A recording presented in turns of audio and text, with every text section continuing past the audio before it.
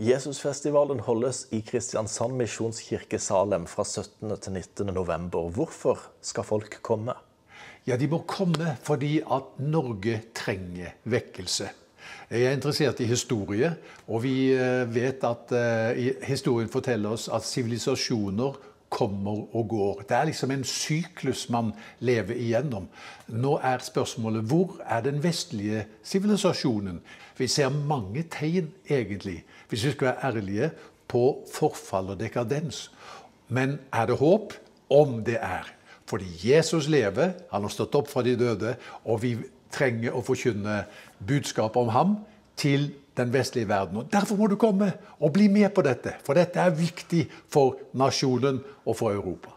På Jesusfestivalen blir det vekkelsesmøter med Sebastian Mælen, Håkon Fagervik, Jørn Strand og fra Sverige David Ekobring, som leder trosrørelsen der. Eh, hva slags forventning har du til forkynnelsen i møtene? Jeg tenker Forkynnelsen kommer til å være sentral, evangelisk. Det handler om Jesus. fordi at eh, vi er opptatt av én ting i Jesusfestivalen. Det er at eh, glede har et navn, og det er Jesus. Kjærlighet har et navn. Det er Jesus. Håp har et navn.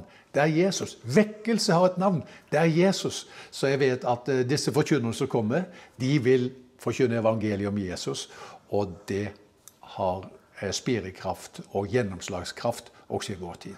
Vekkelse er en slags hovedoverskrift over denne festivalen. og Det starter med et, eh, et, panel som skal snakke om vekkelse i vår tid. Vi skal se på inspirasjon fra nyere vekkelseshistorie. Og det blir panelsamtale om åndskamp og polarisering i bibelbeltet og i Norge. Og hvordan vi som kristne skal forholde oss. Eh, hva tenker du, er det håp om vekkelse? Jeg tenker at det er håp om vekkelse.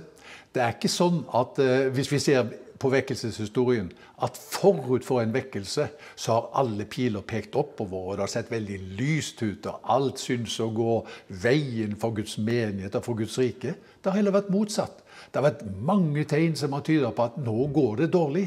Men det står i Bibelen eh, det er tid for Herren å gripe inn, for de har brutt din lov. Altså, når man i samfunnet ikke bryr seg om Guds lover, da er det tid for Herren å gripe inn. Og det tror jeg vi kan oppleve i Norge også. Virkelig. Så jeg er spent på det som ligger foran.